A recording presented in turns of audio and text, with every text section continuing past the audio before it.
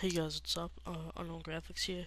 Another quick tutorial. Um, this is a follow-up tutorial to the one I just did, which was showing you how to use blending modes and um, uh, the Gaussian blur to blend text into an image to make it look like it's part of it.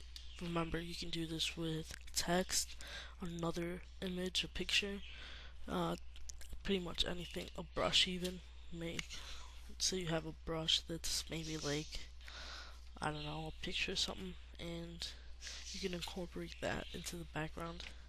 So let's get started. The um,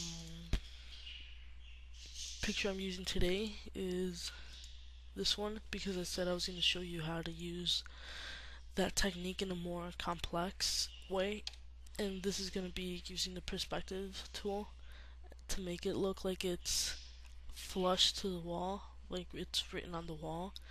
And what's key to remember is everything that's closer is bigger, everything that's farther is smaller. Alright, so just remember that. The color we're gonna get here is a nice hot pink text. Uh, doesn't really matter the font. I'll just use whatever's on here. Alright, let's do our text. Uh, why not Barbie? Alright. Go ahead and rasterize this. Alright. Make this just a tad bit bigger. Not too much, that's good.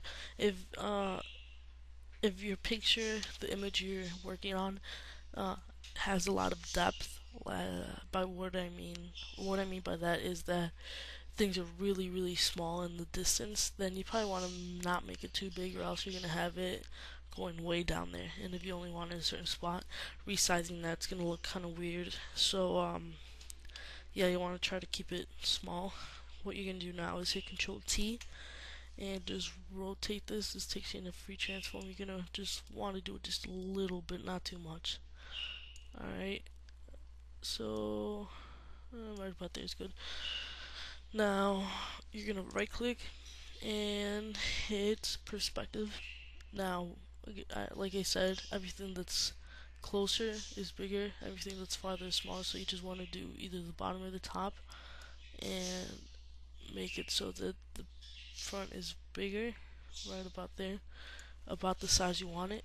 If it doesn't look perfect like it's on the wall perfectly, that's alright because all we're going to do the back side to fix that, the right side is make that smaller.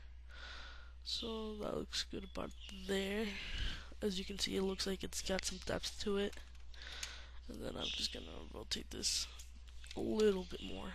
Okay so there that looks pretty good but it doesn't look like it's part of the image so for the sake of this tutorial just so this pops even more I'm going to go to image adjustment black and white set it to grayscale. Alright so that'll make that pop just a little bit more click back on this layer and we go to filter blur Gaussian blur. About 1.5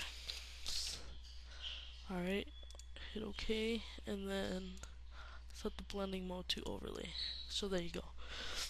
Um now you can see that looks like it's written on there with um, like it's actually painted on to give it more of a spray paint effect what you can always do is just um, set the blending mode back to normal and give this kind of a outer glow. So go outer glow and you want to use the same color. So you can just do that and then make the size just a little bit bigger than the image not too much set this to overlay okay? Then set the bunny horn on the image to overlay. There you go that's probably a little overboard but you can see how it has the little feathering along the edges. And um, that's kind of what you want. Turn the size down just a bit. Alright there we go. See now that looks a little bit better. You can read it. So yeah that's it for today guys. Don't forget to subscribe uh, download the toolbar, check out all the links down in the description. So, yeah, thanks for watching. See you.